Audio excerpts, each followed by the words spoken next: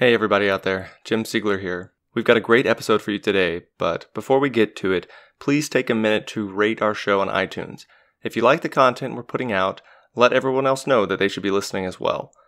Or, if you don't like the content, or the music selection, or the length of the episodes, then that's okay too. We're happy to get your feedback on it. So shoot us a message at bweditorialboard at gmail.com, and we'll do what we can to make the show better. Thanks.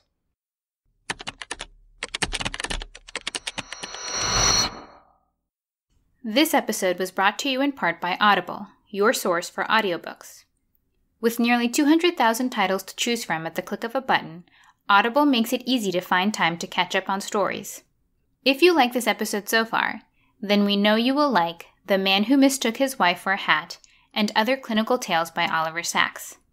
You can get this audiobook and others like it for a free 30-day trial at audibletrial.com slash brainwaves.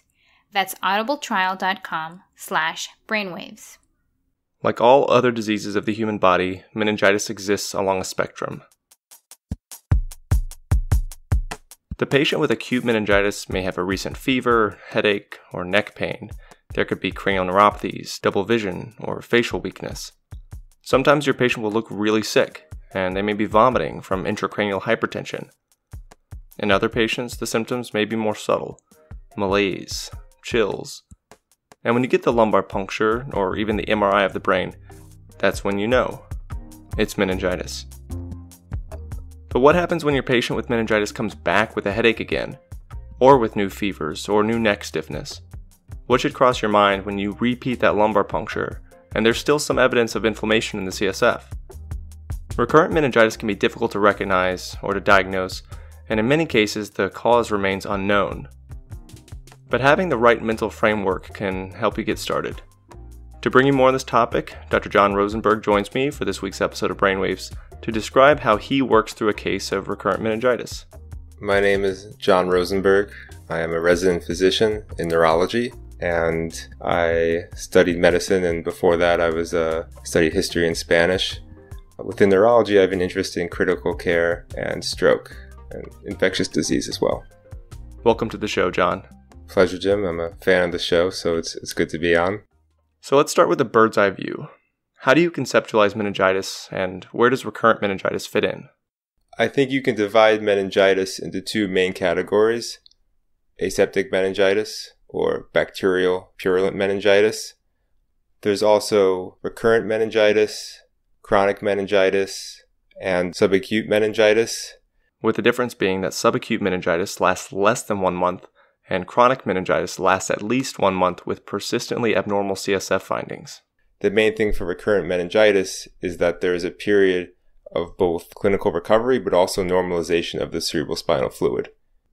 So, when is it headache, and when do you start to suspect something more concerning like recurrent meningitis? That's a good question. Generally, you have to think do they have fever? Do they have meningismus? And I think really, do, I think the look of the patient is really telling. Like, do they look like they have meningitis? When do you start to suspect recurrent meningitis? It's really going to be in the, the history, and the devil is really in the details. Has this happened before? Have they had a lumbar puncture? What were the cultures? The good history is going to give you, is going to tell you whether or not this is recurrent meningitis. John's absolutely right here. The devil is in the details and getting a good history is imperative.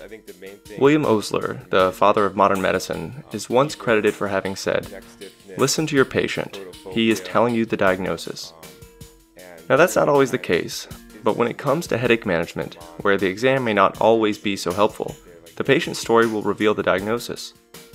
Obviously, it's going to be a little more challenging when this is your patient's first ever headache, because now technically this is their worst headache of life which carries its own differential diagnosis, and we covered this before with Dr. Kankanian in episode number 8.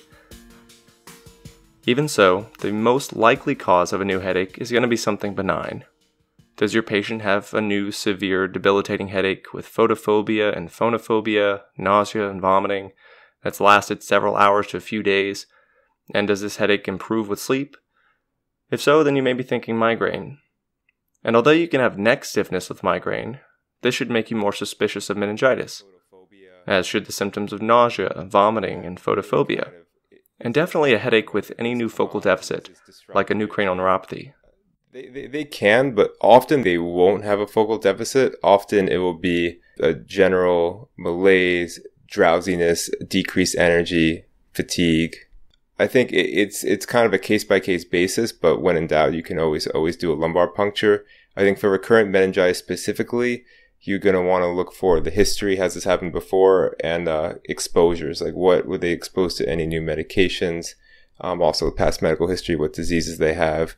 All those will kind of help you tell is this something new that's recurring again and again versus is this something that's kind of run of the mill. So, Jon, you just published an article in the Journal of Current Pain and Headache on the topic of recurrent meningitis. And in that paper, you defined it pretty eloquently. Can you kind of give us your definition for recurrent meningitis? We define recurrent meningitis in its broadest sense as at least two episodes of headache, fever, and meningismus with associated CSF pleocytosis separated by a period of full recovery. The headache in recurrent meningitis can be mild or severe depending on the underlying etiology. In addition, some causes of recurrent meningitis can be accompanied by focal neurological deficits, particularly in the case of neoplastic meningitis, sarcoidosis, and Sjogren's syndrome. Recurrent meningitis typically presents as aseptic meningitis, while recurrent bacterial meningitis is usually the result of a predisposing anatomic defect or immunocompromised state. One thing that I learned when I read your paper on recurrent meningitis is that there's a wide range of causes for recurrent meningitis, and some probably overlap with what you described as subacute meningitis and chronic meningitis. Can you walk us through how you delineate these etiologies of recurrent meningitis? Sure. There are five causes of recurrent meningitis, and these are also causes of acute meningitis infections, malignant neoplasias, benign tumors, medications, and autoimmune diseases. Which one's the most common, do you think? For recurrent meningitis, probably infections, HSV2. And that would be what we classify as Mollaret's meningitis? Mm-hmm. Do you think that that may be the result of, you know, sampling bias? You know, I would imagine that people take ibuprofen or NSAIDs, which are one of the major causes of recurrent meningitis, all too frequently and then develop rebound headache. And we end up calling it medication overuse headache, when in fact it may actually be a recurrent meningitis if you were to actually do lumbar punctures on these people. But we don't do lumbar punctures on all these people. You know, do you think that we're missing a lot of cases of recurrent meningitis? And what does that really mean when we're seeing these people in clinic? That, that's a great point, Jim. I think there is a sampling bias, and it's always very difficult. You have to be careful on in how you say and, and how you quote statistics, incidence, prevalence, how you compare different causes of meningitis because it's going to be based on the people that we tap and the people that we want to tap. And that's going to determine our data.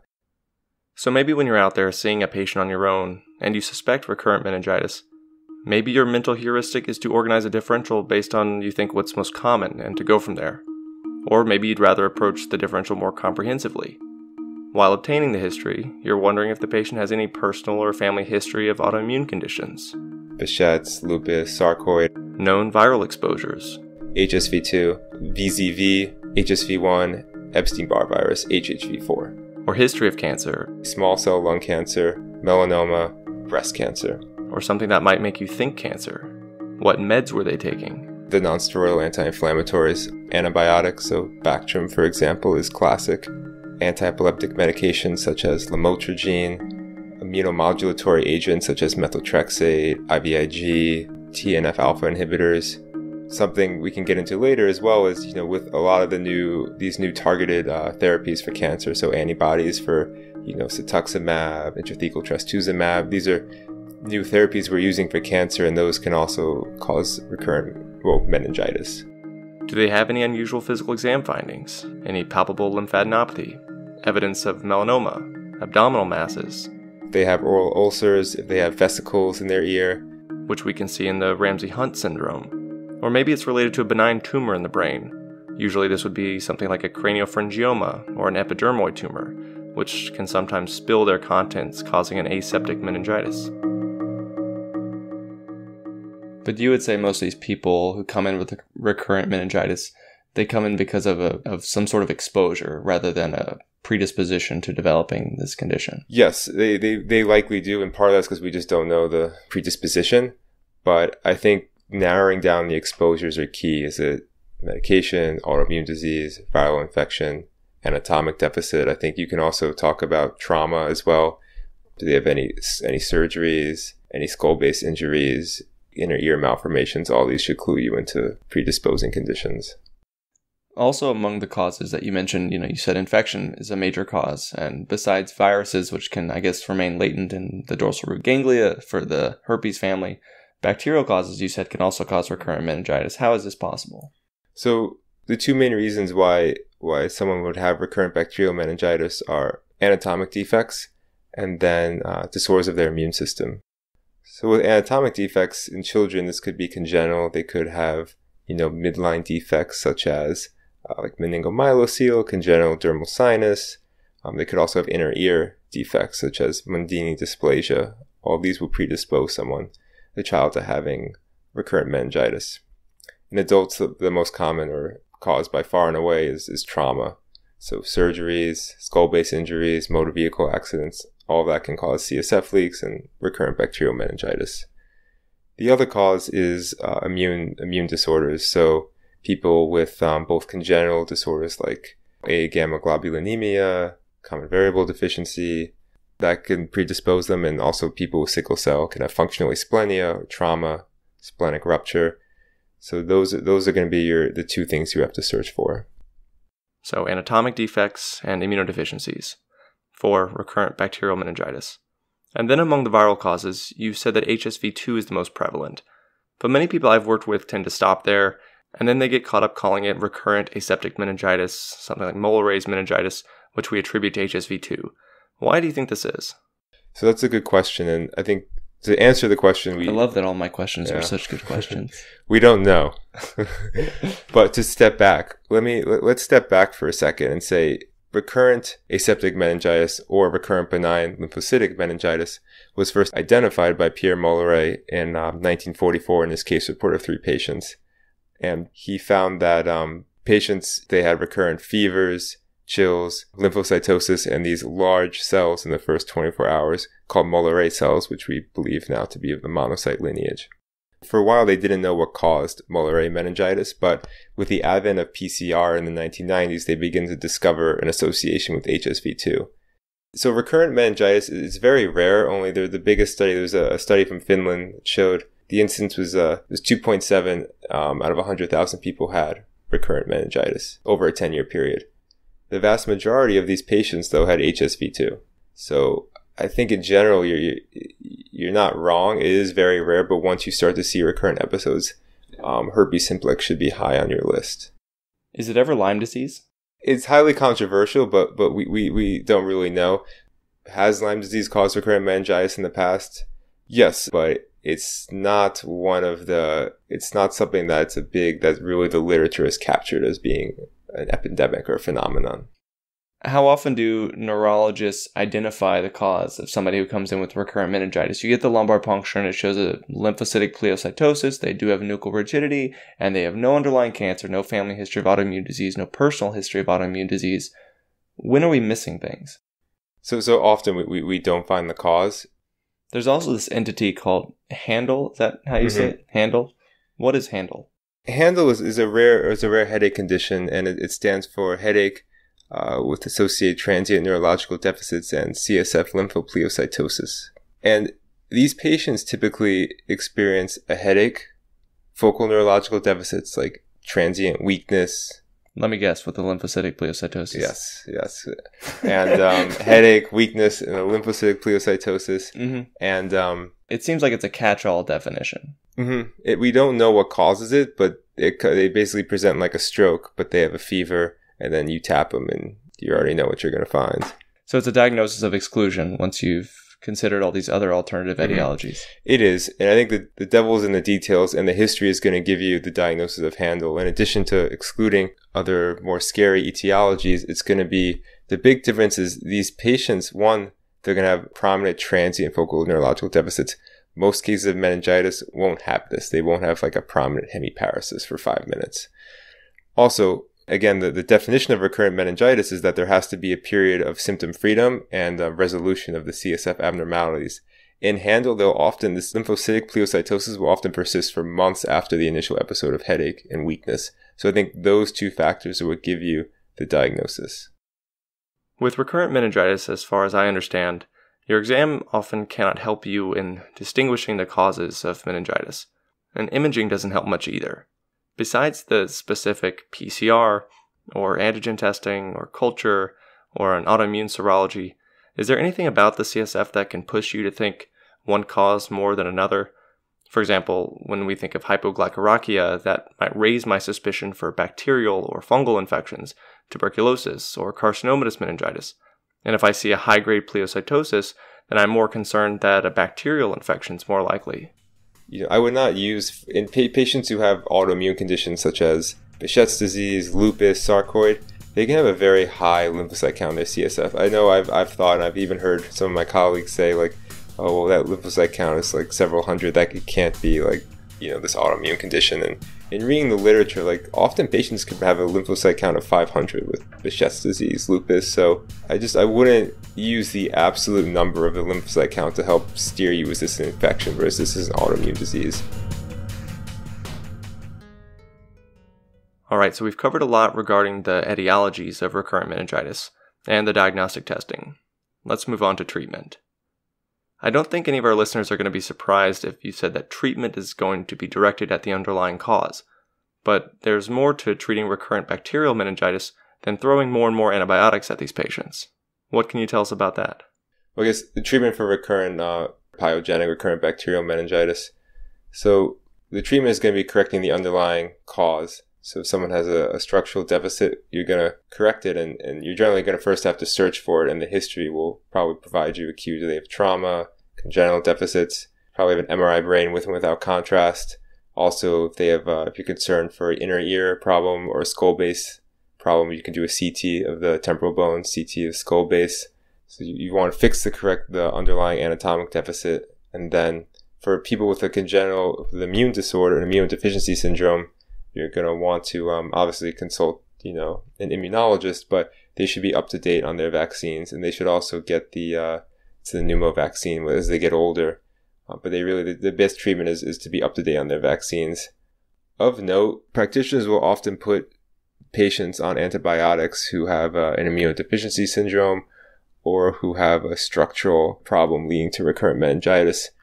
The evidence hasn't really shown that this works, so so maybe in a patient who's not amenable to surgery or not a good surgical candidate, or for whatever reason, we can't fix their underlying immunological disorder, you know, maybe prophylactic antibiotics is especially for for the immuno for people with an immune disorder there's not good evidence behind it and then there has for people who have a structural deficit recurrent csf leaks evidence has shown that antibiotic suppression doesn't work it doesn't prevent recurrent meningitis what about the treatment for your typical case of Mollaret's? Is there any evidence that antivirals are effective for these patients? There was a trial of using valacyclovir. This trial did not show any benefit, but, but there were several flaws. So basically, the, the trial took patients with recurrent meningitis and randomized them to receiving valacyclovir and not receiving valacyclovir for one year, then follow them for two years. The problem with this trial is one, 50% of the patients just had one episode of meningitis, HSV2 confirmed meningitis. So they weren't true, they didn't have true recurrent meningitis at the start of the study. Also, patients in the experimental arm that actually received valacyclovir, they had more episodes of meningitis than the control arm. It was not statistically significant, but they had more episodes. When valacyclovir was stopped, you see the incidence of, of uh, meningitis increase in this group. So it makes you wonder, was there an already a difference, an implicit difference between the two groups that was not accounted for when they were randomized? And just anecdotally, I know we do have physicians at our institution who use valacyclovir for these patients and they found them, found it successful. What about for the patients who don't have HSV2? They don't have cancer, they don't have an autoimmune disease. How do you treat them? Unfortunately, we, we don't have a good treatment for them people who have, you know, recurrent meningitis with an autoimmune condition, steroids, and um, you can even use bigger gun immunosuppressants if need be. Methotrexate, for example, or rituximab, but generally, when the cause is not known, we really don't have a treatment for recurrent um, aseptic meningitis, and part of it is. It, the cause may lie in the immune system. Something with an overactive immune system is we haven't really targeted that yet.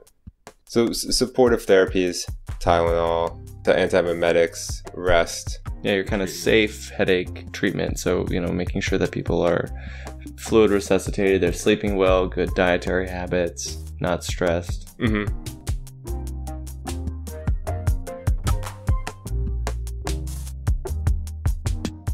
Before we wrap up the show, uh, when you were researching this topic for that review article you wrote, what were some of the interesting concepts you learned in the process? There's actually some pearls I have from my just from doing this article that I can share that might might help someone of my level of training. I think just really, everyone's level of training, Jon. Yeah, yeah. I think for, for starters, I mean, you know, patients they have genital herpes that even though they may have more of a, a predisposition to meningitis, to recurrent meningitis, that disorder is still very rare. So even though the relative risk is higher, the absolute risk is, is still pretty low. And then um, what causes recurrent meningitis? There, there are still some some theories that you know it could be someone's own uh, problem with someone's own immune system. When actually there was a small study that they found that those who, who suffered from recurrent meningitis had more robust immune responses. They had a greater, their innate and that their adaptive immunity was more robust. So that maybe there's something suggestive of like an inflammatory response being the mechanism. As exactly, as opposed to the actual infection itself. And then um, looking at neoplastic meningitis, I think this is something that always crosses my head every consult I see. Do I need to, someone who has a history of cancer, do they need a lumbar puncture? And generally, for solid cancers, leptomeningeal spread is a late manifestation of the disease. As opposed to the hematologic malignancies, leukemia, and lymphoma, which can disseminate to the CSF even at the time of presentation. Very cool, Jon. What do you say we wrap up the show here? What are the major takeaway points for our listeners this week? So there are five causes of recurrent meningitis infections, neoplasias, benign tumors, medications, and autoimmune disease. The treatment is going to depend on the underlying etiology. So for infections, if someone has um, viral infection, aseptic meningitis, we, there is no good treatment to prevent recurrent meningitis, but we did talk about the pluses and minuses of, of valacyclovir. For bacterial meningitis, you want to correct the underlying anatomic deficit, or if they have a, an immune deficiency, you want to either correct that and or make sure they're up to date on their vaccines. For neoplasias, you're going to treat the underlying cancer. For benign tumors, you're going to resect, you know, the craniopharyngioma. You're going to take it out. And then medications, you're going to withdraw the offending medication, and you should see a reduction in symptoms within 48 hours. Then for autoimmune diseases such as lupus, Sjogren syndrome, sarcoidosis, you're generally going to start with steroids. And if steroids don't work, you know, you use higher gun immunosuppressants. And then for sarcoid, you know, TNF alpha inhibitors.